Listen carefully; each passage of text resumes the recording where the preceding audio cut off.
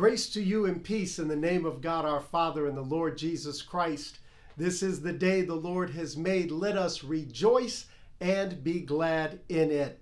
It is a joy to greet you on this Wednesday, March the 1st, 2023. Welcome to St. John AME Church in Cleveland, Ohio, where I, Henry Curtis, serve as pastor. On this second Wednesday in Lent, let us begin by offering our prayer of confession to Almighty God. Let us pray. Most merciful God, we confess that we have sinned against you in thought, word, and deed, by what we have done and by what we have left undone. We have not loved you with our whole heart. We have not loved our neighbors as ourselves.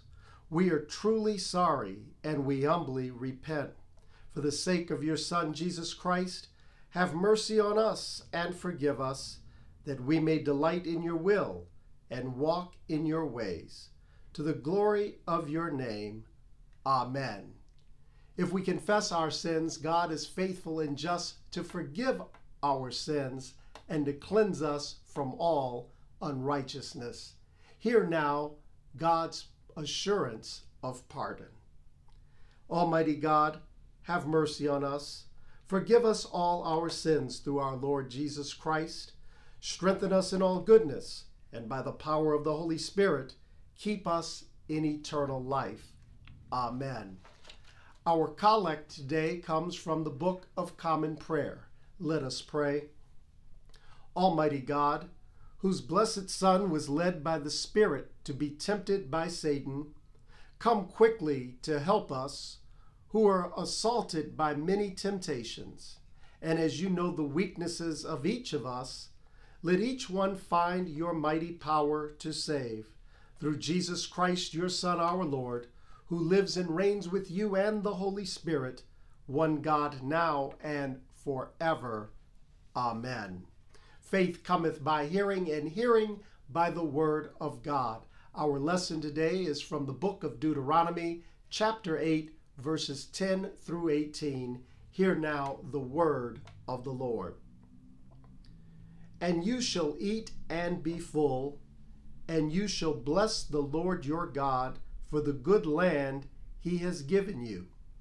Take heed, lest you forget the Lord your God by not keeping his commandments and his ordinances, and his statutes which I command you this day lest when you have eaten and are full, and have built goodly houses to live in them, and when your herds and flocks multiply, and your silver and gold is multiplied, and all that you have is multiplied, then your heart be lifted up, and you forget the Lord your God, who brought you out of the land of Egypt, out of the house of bondage who led you through the great and terrible wilderness with its fiery serpents and scorpions, and thirsty ground where there was no water, who brought you water out of the flinty rock, who fed you in the wilderness with manna which your fathers did not know, that he might humble you and test you to do you good in the end. Beware lest you say in your heart, My power and the might of my hand have given me this wealth. You shall remember the Lord your God, for it is he who gives you power to get wealth, that he may confirm his covenant, which he swore to your fathers, as at this day. The word of God for the people of God. Thanks be to God. Our key verse today is from Deuteronomy, the eighth chapter, and the 18th verse. You shall remember the Lord your God, for it is he who gives you power to get wealth, that he may confirm his covenant which he swore to your fathers as at this day. Let us pray. Lord, speak to me that I may speak in living echoes of thy tone. As thou hast sought, so let me seek thine erring children lost and lone. Now may the words of my mouth and the meditation of my heart be acceptable in thy sight, O Lord, my strength and my Redeemer. In Christ's holy name we pray. Amen.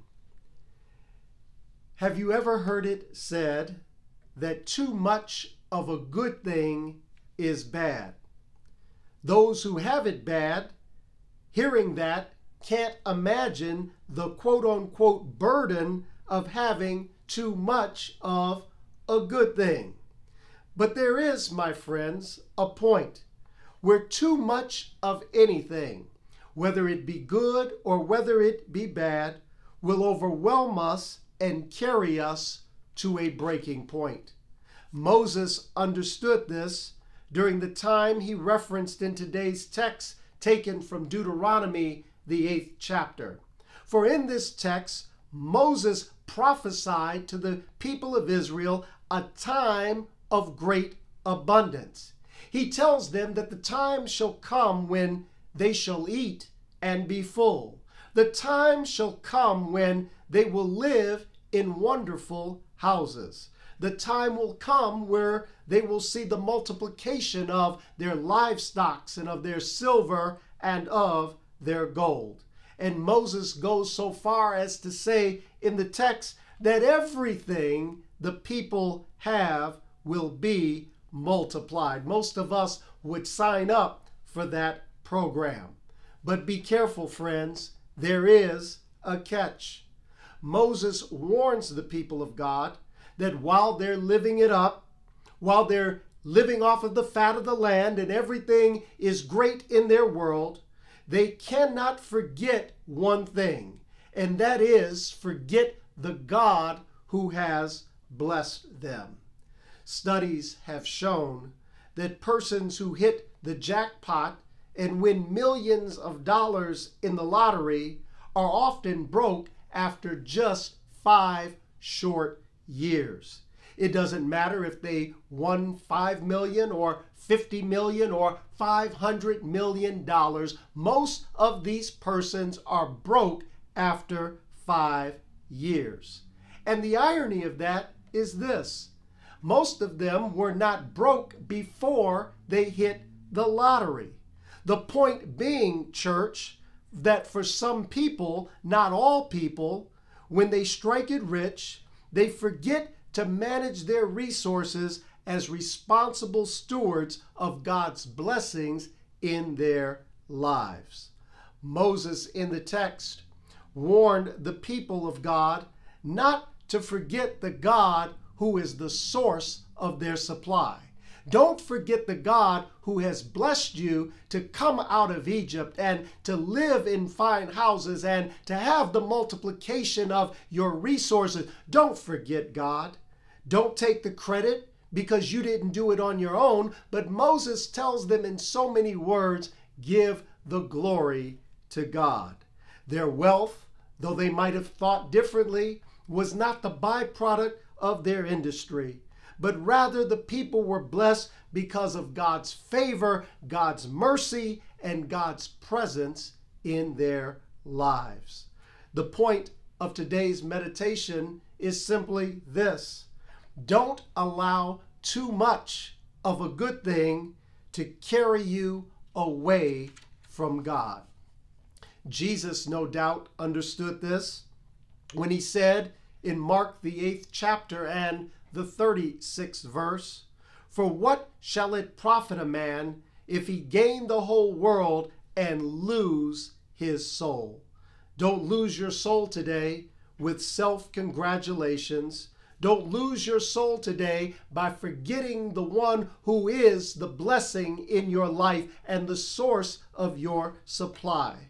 Rather, I've stopped by today to encourage you to praise God, to praise God for what God is doing in your life, to thank God and to praise God for blessings great and small. We don't always understand where the blessing came from. We don't even understand why God chooses to bless us. But thanks be to God, He does. The songwriter said it this way something beautiful, something good. All my confusion, he understood all I had to offer him was brokenness and strife, but he made something beautiful of my life.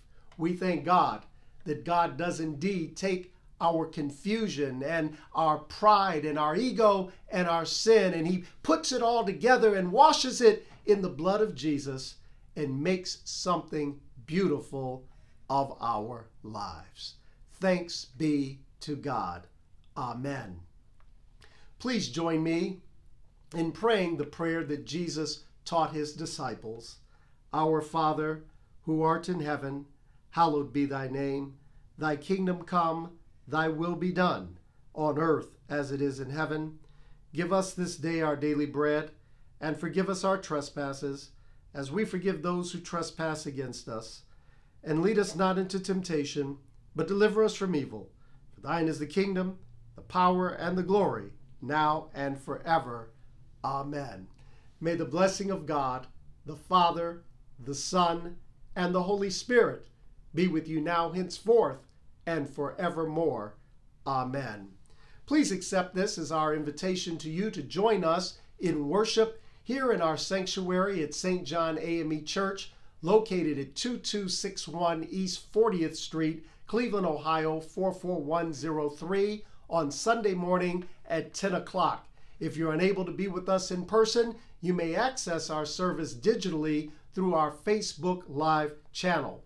Also, for those of you watching today on Wednesday, March the 1st, 2023, we will have our second worship service in our Lenten series this evening at 6:30 here in the sanctuary. To help others to be able to access this channel, please uh, subscribe to our channel and hit the like button and share it with others so that they too may be blessed. Thank you so much for being with us today. Have a great rest of the day, and we look forward to seeing you maybe even this evening or on Sunday. But until next time, be safe and be blessed.